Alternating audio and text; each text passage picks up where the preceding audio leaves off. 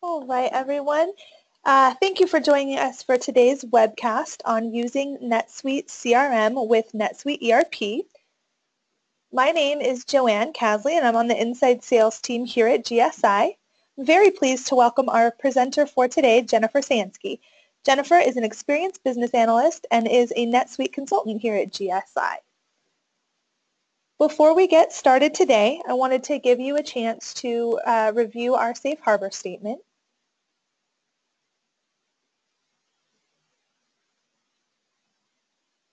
All right, and now for a quick overview of the agenda for today's webcast, which will last about 50 to 55 minutes. First, we'll go over a couple of quick housekeeping items, then I'll provide a brief company overview before turning it over to Jennifer for the main presentation. At the end of the presentation, we'll go over our upcoming educational events and then wrap up with a question and answer session. If you would like to submit a question, you can do so through the questions panel, which is located at the bottom of the GoToWebinar console window, which should be on the right side of your screen. Please note that questions will be answered at the end of the presentation. If you would like to minimize your GoToWebinar console during the presentation, just click the red right-facing arrow key on the top left of the console. Now for a brief overview of GSI. GSI is a full-service consulting organization specializing in NetSuite and JD Edwards. We are an Oracle Platinum partner and we were founded in 2004. We now have over 100 employees. We have offices nationwide and have been recognized on the Inc. 5000 list of fastest growing companies in the U.S. GSI specializes in project consulting, managed services, and cloud and hosting services. And all of our services are backed with a 100% guarantee. Now I would like to turn things over to Jennifer for our main presentation. Thank you so much, Joanne, and good afternoon, everyone. Um, as Joanne mentioned, I'm Jennifer Sansky, and I will be presenting the webinar this afternoon. I'm going to go ahead and show my screen.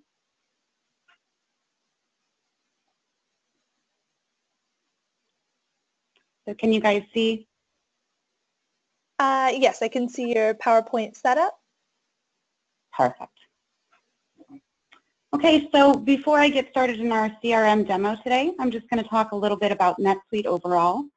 Um, NetSuite is a fully integrated cloud ERP solution that gives real-time visibility across the entire business. So it allows companies to store all of their information in one location and with the relationship database structure, it allows views of the overall processes with easy generated dashboards, reports, and searches. And because it is cloud, it is available from any browser, so that's quite nice. It was also founded in 1998 as the first cloud ERP solution, which means it's been around for a while and it has the ability to just keep getting better, uh, not having to catch up to other softwares. NetSuite is a single data source so as a company, there is one software to house all aspects of your business. Um, it makes analytics so much easier because it's one place to pull everything together. And less software obviously means less upkeep. Um, NetSuite is configurable and highly customizable to ensure it fits your business needs down to even terminology. And it's a SaaS model, software as a service, so it's hosted for you and you don't have to keep up with the servers in the office. The forms in NetSuite, as I mentioned before, are highly customizable. It's simple to create new fields, lists and subtabs, and you can relate them throughout the entire organization on different forms. This means that NetSuite allows you to customize everything the way you want it. Analytics are obviously then very easy to run on anything that you put into the system. So what CRM really covers in NetSuite is everything from Salesforce automation, lead to customer management, customer support and case management, and marketing with e-commerce overview.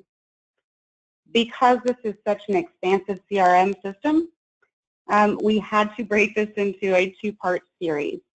So today we will focus on marketing, campaigns, upsell, sales rules and commissions, and on July 17th, we will have another one, uh, part two series, which will focus on forecast and pipeline reports, customer support, marketing campaign assistance, and then the lead to customer and estimate to SO process. So with all that being said, I'm going to jump into the actual system and we'll have some fun now. As you can see, I've gone to NetSuite and I've logged into my system and I've logged in today as a U.S. Marketing and Sales Manager to begin. So what we're going to start with today is marketing automation and just to give you guys an idea of where we're at, this is our dashboard that's pretty standard for marketing and sales managers. If you're not familiar with the navigation of NetSuite, I'll try and speak to that as I go through this. But on our dashboard up here to the top right, we have our navigation portlet. And again, this is for marketing. This can be customized for any of the roles. But it gives us a lot of shortcuts to all the things that we're going to need to see and deal with as a sales manager or a marketing manager. If we scroll down over here to the left, we have a KPI field uh, or dashlet set up, and this is our key performance indicators. So again, this is highly customizable. As you can see, it gives you kind of quick glimpse of our new leads, where we're at versus last month. It even can tell us our website hits this month versus last month. So a lot of good stuff on here that, again, you can customize to make sure it's what you want to see on a daily basis. If I scroll down some more, you're going to see some of these KPI meters. And these we can also add in or change to determine what we want to see. but this gives us an overall view of our marketing campaigns by category, total cost, expected revenue, actual revenue, and ROI all in real time. The first thing we need to set up when we talk about setting up our campaigns and our overall marketing strategy we'd like to set up target customer groups. This allows us to segment our customers through dynamic and static grouping. So we can create new customer groups based on things like purchase history criteria um, from items purchased, maybe purchase dates or amounts that you purchased. Um, and these groups can then be targeted with emails and direct marketing campaigns and events. So in order to do that, we'll come up and use that navigation portlet and we'll start by defining a customer group. And just to give us an idea of what these look like, I'll just come down and we'll open up the record of customers who purchased iPads. So in this record, this is a dynamic customer group. Means it's constantly changing and updating. Um, so let me talk about that for just a moment. There's two ways to create customer groups. Of course, that's the static and then the group members remain the same no matter when you come back to it. You can also do a dynamic or create a dynamic group, and that's what we're looking at now. And this means that the members will be updated in real time based on the conditions that we set. So your more profitable customers and the, the repeat business, um, those you can keep up with and just make sure you got your eyes on things at all times. The group members down here at the bottom, if we scroll down, all group members are displayed with their associated contact information. The application is flexible and you can tailor these fields to just show the most relevant information to your marketing team. If We jump over to our campaign subtab. Again, this is all relevant to this customer group that we set up. The campaign subtab displays all the marketing campaigns that are targeting these customers. So this allows for transparency across the team to create an integrated marketing approach. We want to be smart with how we continue the relationship with our customers. We don't want to oversell or shoot out too many emails. So this really gives us one place in the visibility to make sure we, we have a full understanding of our interactions. The next thing we're going to do now that we've set up our customer group is go back and talk about the marketing campaigns themselves. So we'll hit our home button here. And this will bring us back to our dashboard. We're going to go back to that navigation portlet and navigate to campaigns under campaign setup. So campaign records are used to manage all the information that's important to your marketing efforts. And on the campaign record, you can set the time and date events are set, select the recipient groups, enter the overhead costs, and add information about your campaign that's important to your company's reporting. You can schedule individual campaign events to represent different parts of the same campaign, or you can track campaign without separate events, whatever works for you. So I'm going to come down and select one of these just so we can take a look at the record, and we'll view this WD sales, seasonal sales promotion. So as we come into this record, we're going to have our primary campaign information at the top. And that's just a summary of, of everything, your description, your start end date, cost and revenue projections, and just gives you a quick synopsis of the campaign. If we come down into campaign events, this is our first tab down here. You can see that there's sub-tabs associated with this as well.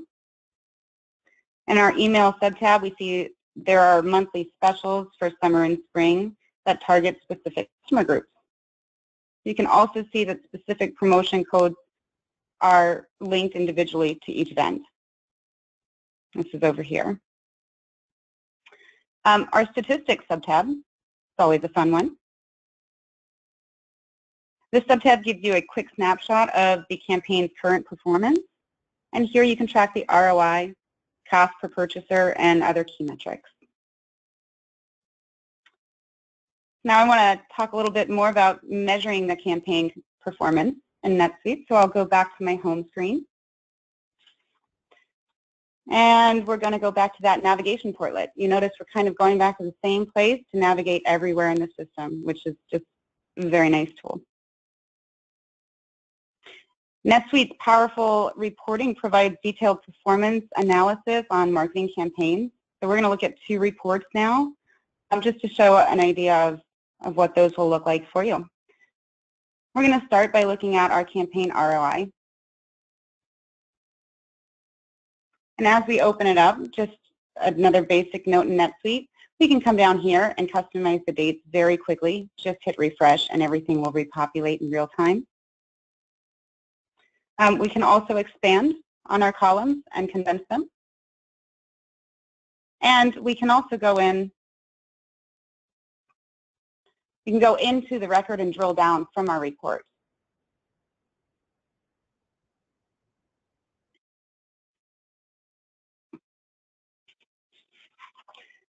Now I'm going to go back and look at a navigate, how to navigate by sales, promotion, and marketing.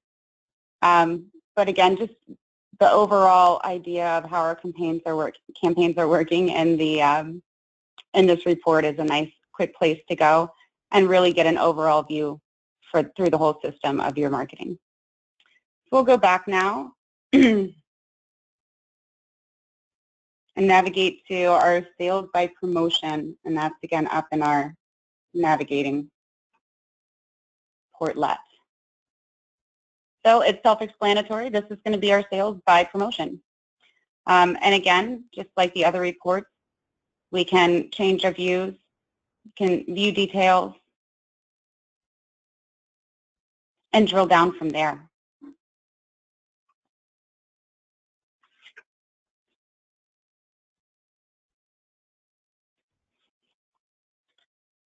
Now I'd like to go back talk about how we upsell to existing customers. And in order to do that, we're going to actually create an upsell template. So just like before, as we navigate back home, we'll go into our upsell manager, and this is under setup. And all of this is going to kind of tie together at the end so you can see that everything kind of works together within the marketing system.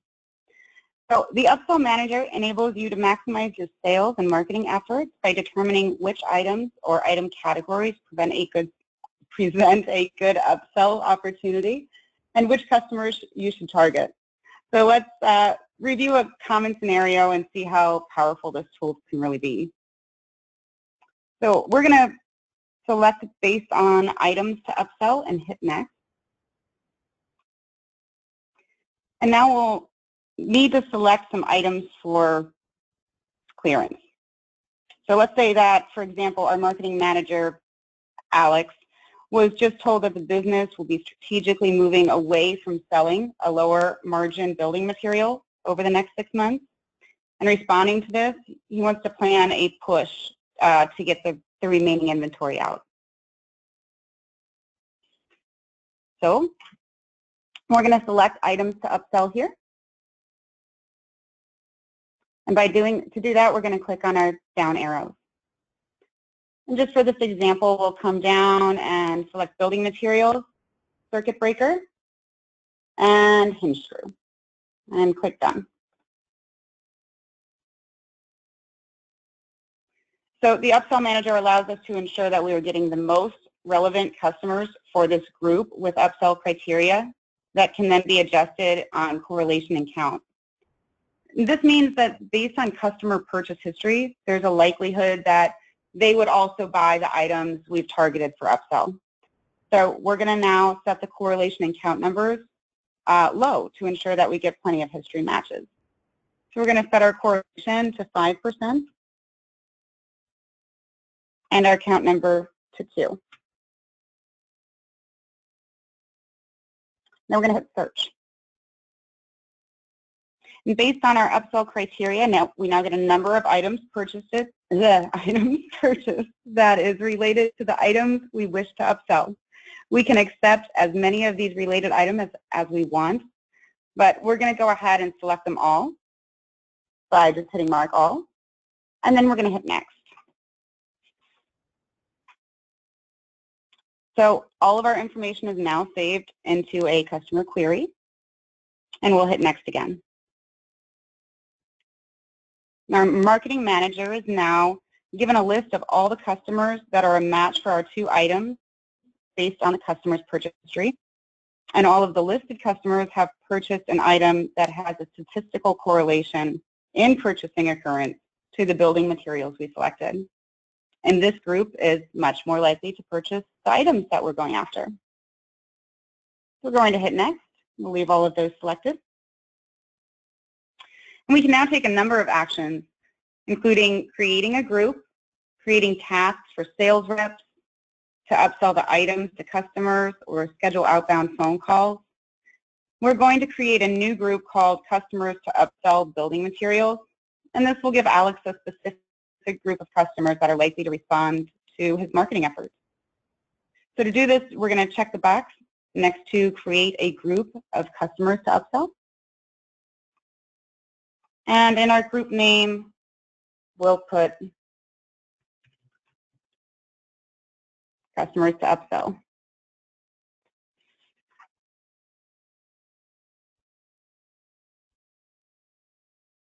Now we're going to just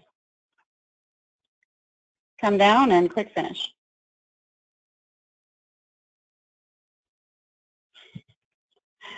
Okay, so we've done that one before. We'll just go customers to upsell. And notice that it did tell us, hey, you do already have something submitted there. So it did not let us create a duplicate record. Okay, so now we have confirmation that we have our upsell record created. We can access it quickly from here. Or we can just go back to our home screen. So to take everything, uh, all the marketing components so far that we've gone over, our new group can now be associated with a campaign and that has a promotion link to it. And our marketing manager can send out emails or direct mail to customers based on our customer information in the list we created. The marketing manager can then measure the performance of the campaign and the ROI of all of the marketing efforts.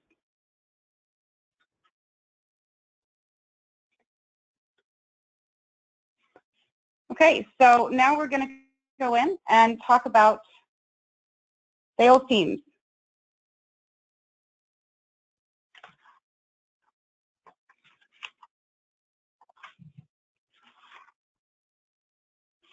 So we're going to stay in this role and we're going to go to setup up here in our menu bar, sales and marketing automation and sales rules.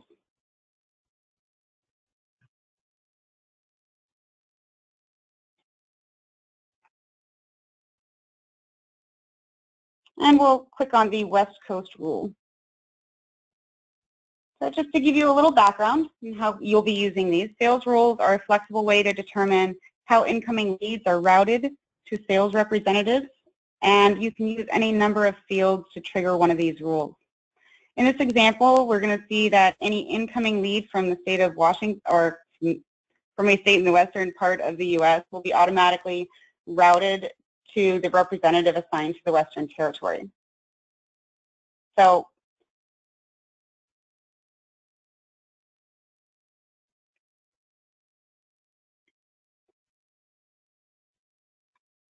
we're going to go to the assignment subtab once we click on the edit.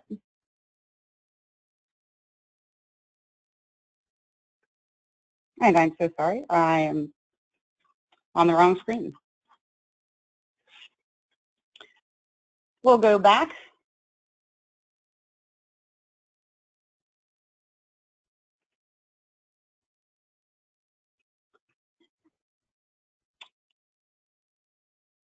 And we'll just have to say that we're missing this part of the menu, so I'm going to have to go in and grant some role permissions. Um, moving on and knowing that I'll put that on next next time's webinar on part two, uh, let's talk about commissions. So commission schedules a fundamental tool to incentivize high performance at top sales teams, and NetSuite's flexibility allows you to organize and construct the incentive plan that works best to motivate your team. So as we'll see, the system allows you design, to design complex multi-tiered commission plans while still remaining transparent and comprehensible. Also, commissions are seamlessly integrated with NetSuite's accounting and payroll features. And when deals are entered, commission is automatically calculated by the system. So you do not have to work with complicated spreadsheets or input data between applications. So again, we're going to stay in our marketing and sales manager role. And we're going to go to our commission setup and our shortcuts portlet. Um, just to talk for a moment about our shortcuts portlet, it's down here at the bottom. We, of course, could change the location. But this is going to be kind of like a favorites menu. So everything that you want to quickly access, you can access down here. And it is, of course, again, very easily customizable. So we'll go into commission setup.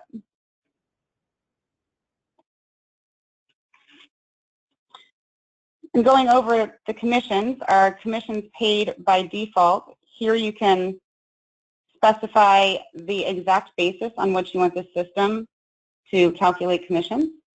Um, commissions can be calculated based on billings or bookings, collections, or any mix of the two. And this allows you to tailor these calculations specifically to your business. Commission eligibility period. This allows you to specify exactly how many days uh, must elapse after billing or payment depending on default selection, and before the sale is eligible for commission. And this helps protect your organization from overpayment or unreliable commissions. Default employee commission expense account, this allows you to specify exactly what account will track all the commissions. So now that we have the default parameters for commissions uh, calculation and payment, the business can now define specific commission plans to assist employees. And these individual plans allow for total flexibility and exactly how you compensate each employee. So we're going to click the Home button and return back to the dashboard.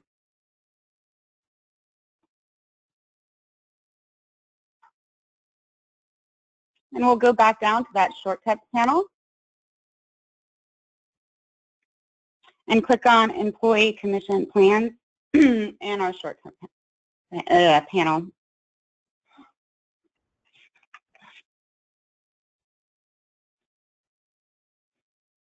So in here, we're going to select the plan named percent sales and warranty kicker.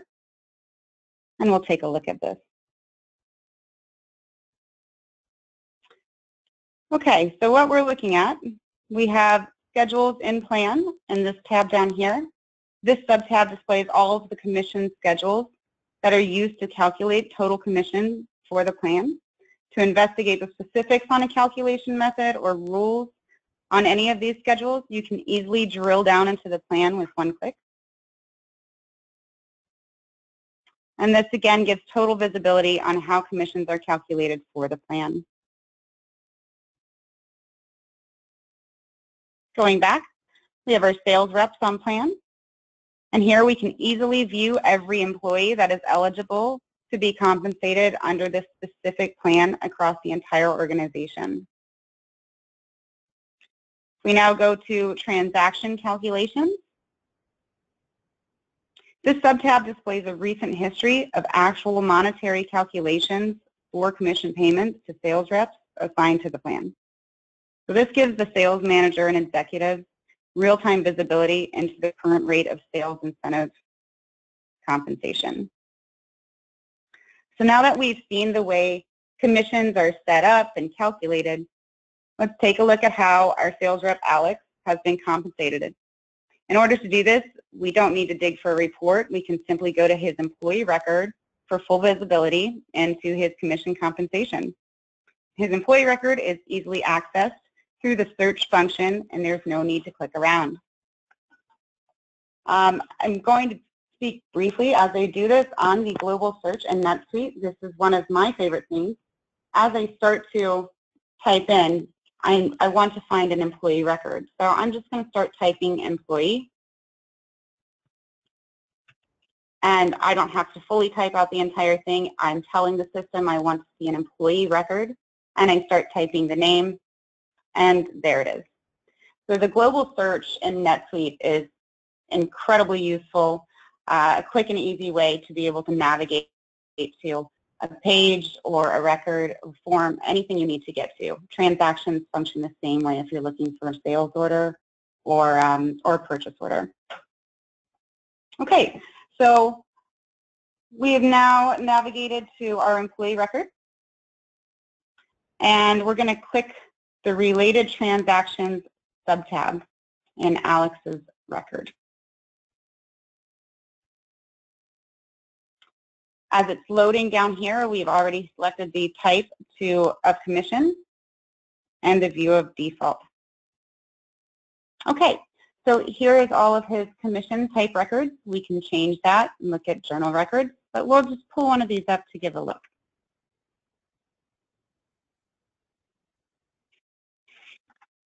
And this is just a quick example of NetSuite's ability to integrate across your business. So you can see the commission record right here. And while Alex has his employee information and traditionally just would be related in his employee record um, to HR things, this is an example again of how not only HR information is related, but NetSuite lets you look across the entire system and quickly relate his commissions and other things that normally um, wouldn't be related in, in a CRM ERP. So it's a huge benefit of the system. Okay, so now I'm going to navigate back home. And from our shortcuts portlet again, we will navigate down to the employee commissions overview. Again, down here we can change our dates for the date range we, we wish to have. And with a single click, our sales manager can get a high-level overview of all of the commission payments on this report uh, over any period of time. This gives instant perspective to how these incentive plans are working, who's performing well, and who's lagging behind.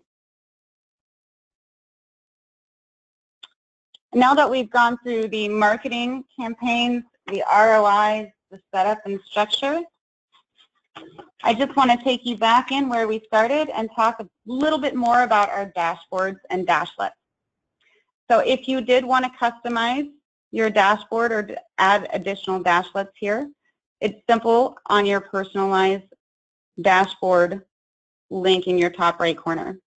You can add trend graphs, snapshots, and our standard content that's built in. So you can add in a custom portlet, a quick search, quick adds for things like leads, which we'll show you in our next segment. And of course, news release and login audits, which allows you to track the login times um, down here, we close this up, we have a reminders. So as a marketing manager or sales manager, when I come in, I can configure these reminders to remind me of any of these activities in the system that I might need to keep up with on a daily basis.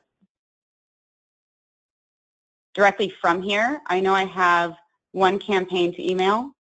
I can click on this link and go directly to the activity and execute the actions I need to make. This is a wonderful way of keeping up with your tasks um, related to marketing. You also have our reports down here, which can sum up our campaign by profitability. Again, we can set this up for different criteria based on what we'd like to see. And these can be set by custom searches as well, uh, or reports that you create in NetSuite and then allow those, those to populate. So everything is highly customizable here. And again, down here we have a list of our promotions. So a quick view of what you would need to see on a daily basis, quick ways to get there without having to navigate through the entire system. And I know we're a few minutes early because I had a tiny glitch that I will address next time. Um, but again, our next, next session, part two, we'll be covering forecast and pipeline reports. We'll be covering setting up the rest of those sales territories we saw earlier uh, or started after we set our sales rules. Customer support will be covered, the marketing campaign assistant, and lead to customer or estimate to SO processes. So you can see how quickly um, NetSuite automatically converts leads to prospects and customers and et cetera. Um, with that, I'm going to turn it back over to Joanne and open it up for uh, any questions.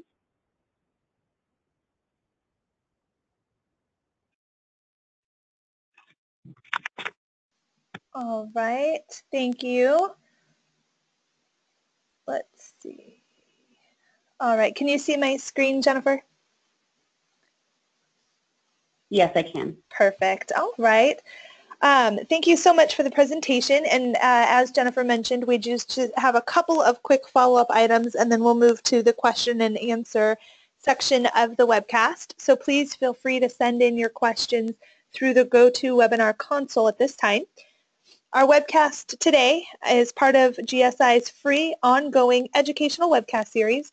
Our upcoming webcasts are listed on the screen and you can find the entire schedule on our website at getgsi.com forward slash webcasts. If you would be interested in receiving weekly email reminders about our upcoming webcasts or to receive our monthly newsletter, the GSI Insider, go out to www.getgsi.com and you can find a link for each at the bottom of the screen. And with that, that takes us to the question and answer section of the webcast. Um, please feel free to send your questions in at this time. If you minimized your console earlier, you can click the left arrow to redisplay the questions panel.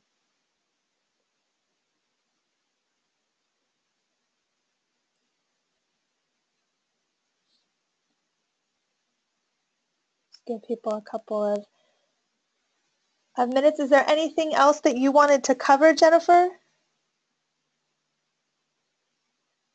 Um, you know, today uh, I think we'll wrap it up and I will make sure to have everything working on that roll glitch by next time.